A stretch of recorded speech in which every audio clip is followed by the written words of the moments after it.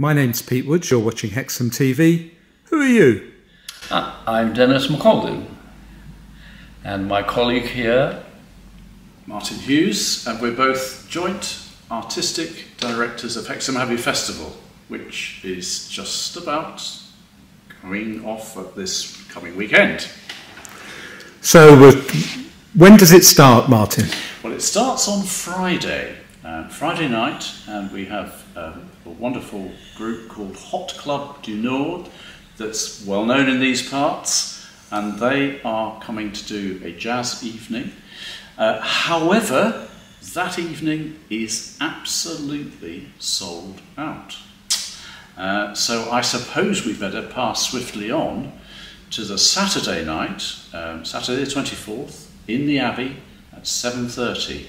Now, um, there's something very interesting about this uh, concert because first and foremost, the Hexham Abbey Festival Chorus is reconstituting for the first time since the pandemic, and so they haven't sung for two years, and they are really waiting for this big opportunity. Isn't that right, Dennis? yes, indeed, exactly so.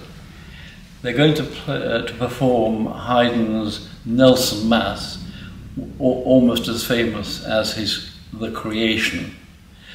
Uh, the Mass has got this name because of a visit that Lord Mel Nelson went to Haydn's patron, Prince Esterhazy, in 1800. This Mass, in his uh, autograph, is called Mass in Time of Stress, mm. which we feel is absolutely the appropriate choice because the mirror between the economic and political situation in Europe with Napoleon is almost entirely paralleled by the mess in the Ukraine. And so the same kind of anxiety lives today as he worked with all those years ago. Mm. So, uh, and I think I ought to disclose, because I think I know that you're just too, um, oh, bashful. No, not bashful. but what we're doing, in fact, we are playing um, a performing edition by uh, the man on my left. Uh, now, that's uh, pretty amazing, and not many times could anybody have sat two down and one say to the other, Come on, Dennis, tell us about your performing edition. I'm happy to do that. Uh, and it's because uh, the carrying down over generations of music is full of corruptions, particularly when it was all handwritten. You can imagine the number of mistakes that crept into the music because copyists uh, were coming back from a good lunch or something and didn't quite uh, pick up where they left off.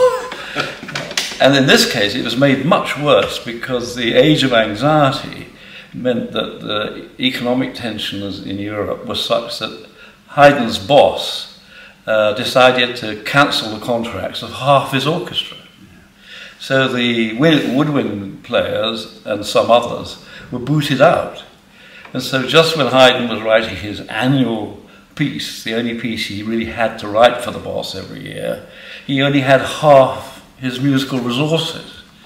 So his achievement in producing this wonderful score is with a small orchestra uh, of a few string players, um, three trumpets and timpani and organ. Later, the organ part was transmitted back into score by Haydn's successor. Even that was full of corruptions.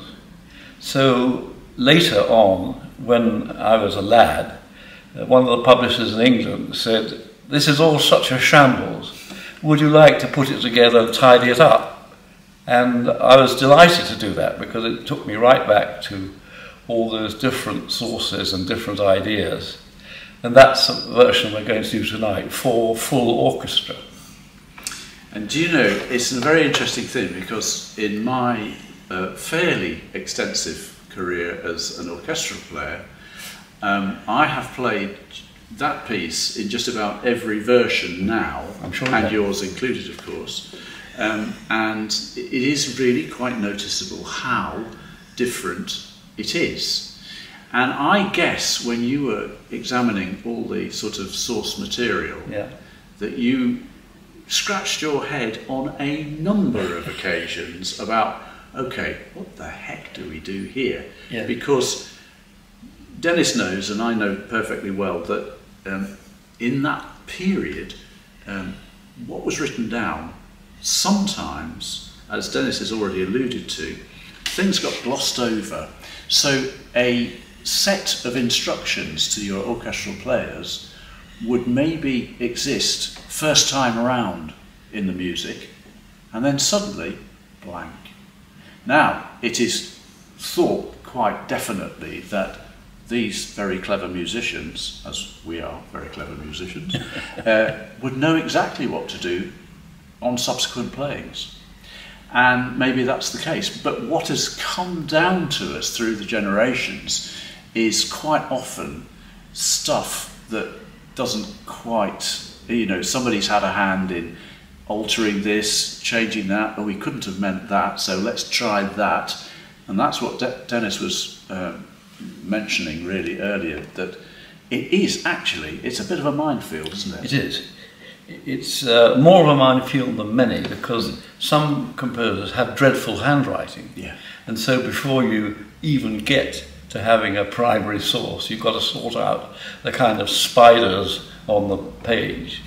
Beethoven was a notable Yes, character in this direction, but Haydn was a neat um, co- uh, composer and had a, a lovely musical hand, as it were. But uh, I- things went wrong for him. Um, he had some less good soloists to do the rather brilliant soprano solo and uh, tenor solo. And so, in order to help his musicians, he scratched out some of the solo writing and wrote something less good. And of course, a lot of the editors coming after, but before we didn't know this, so they took the scratched out version as the real thing. And so, one of my pleasures has been to put back uh, what Haydn originally wanted from his starry soloists. And that's what we're going to perform on Saturday. And it, that is absolutely, you know, key to this whole thing. Yeah. Absolutely. And you mentioned Beethoven, and what are we playing in the second half? Beethoven's magnificent, wonderful violin concerto. And who's playing it? Well, he has been described as, um, well, a national treasure. Um, Bradley Creswick. Who else? Um, so he's leader emeritus of uh, Royal Northern Sinfonia, which is my old orchestra, of course. And um, so he, uh, we've done it actually together uh, within this last year. And I have to say, it was absolutely a terrific experience. And if anybody uh, out there hasn't seen Bradley play, uh, here's your big opportunity. He is a wonderful musician. I have to say, one of a kind. Um, so there, and that really rounds off. I think. Oh no, it doesn't. Of course, Dennis, you've written. Well, you have written a fanfare for the start of the concert. It's, a, it's the best kept secret. it's not a, in the published program so far. It is just now. Is it? Uh, and it's, it, it, it has the great merit of being short. Haydn, as I mentioned earlier, had three trumpets and timpani, and it seemed to me that it'd be rather nice to celebrate the Queen's reign and the uh, 800th uh, anniversary of uh, the Market market, market here with a, a little sort of ceremonial gesture. So I wrote a little piece, and it's based on the notes on the name Haydn. Now, uh, sorry, name Hexham, sorry. And Hexham, of course, doesn't look as though, if you're a, a, a beginner pianist, doesn't look as though it's got many notes in it. You've got an A and an E, but not much else. But because in German H is B natural, that one, I've actually got an H, and an E, an H, and an A. So my fanfare is based on that. Etc. Okay, have you got that okay in your... Yes. Yes, Lovely. sure. There we are. Yes, yes. And I believe also that we are doing doing our due diligence uh, at the end of the concert, and we are inviting everybody to stand and sing the new national anthem. That's right. Anyway, I think that's enough about Saturday, don't you? Yes, I do. Uh, what should we What should we talk about? Oh, Sunday. Sunday. Fantastic. Yeah.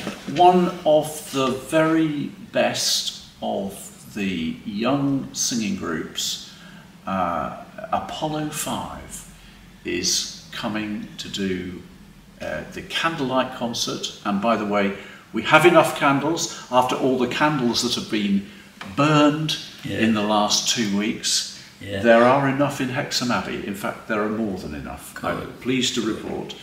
Um, and uh, they're doing a concert at the top of the night stair, which is the most magical setting and one of the very, very best acoustics in the whole of Europe. No question. Uh, they are looking forward to it very much. Um, we are as well. Uh, and it's a very wide ranging programme. Uh, the i title is Where All Roses Go. Uh, it starts uh, in, with music from a long time ago, but it sort of comes forward and then comes into the 20th century. And in a sense, there's some kind of thought that it might encompass um, musics from the two Elizabeths. So Elizabeth I and our own Queen, late, lately departed. So uh, that could be a very interesting, very interesting concert indeed.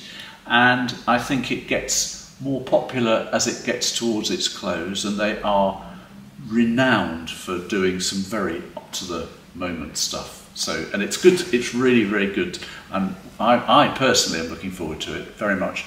Um, Apollo Five uh, is one of this sort of offshoots of Voces8, who have been. Is it twice?